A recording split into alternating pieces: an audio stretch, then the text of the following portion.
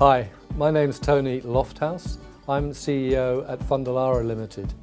We are an ASX listed, Australian based mineral exploration company focusing predominantly on copper and gold exploration in Western Australia and the Northern Territory.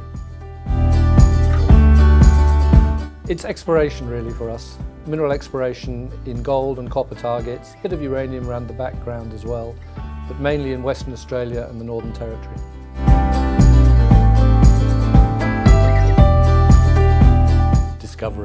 That's what we all want, I suppose. But it really depends on the quality of the project that you have. You really need to be able to have areas that you like the look of that have a rigorous technical basis so that you have real opportunity to make a discovery. So that's what we're after at the moment. And in the next 12 months, we have two main targets, which are really the DeGrussa area at our Red Bore project in uh, Doolgunna in Western Australia, and also near Meekatharra, which isn't far away, gold exploration at Garden Gully.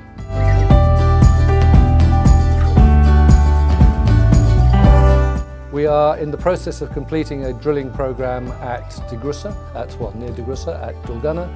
Those results are due out in the course of the next few weeks as we record this.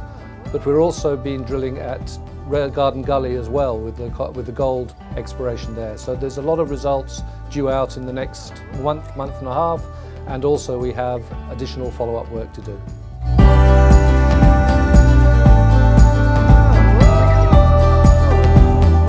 I'm looking forward to catching up with some friends I've made at previous Mining 121s and to give them an update of where we're at and what we've achieved and also to meet new investors who may be interested in participation in a company that is early stage exploration on some of these targets but has real potential to deliver an upside.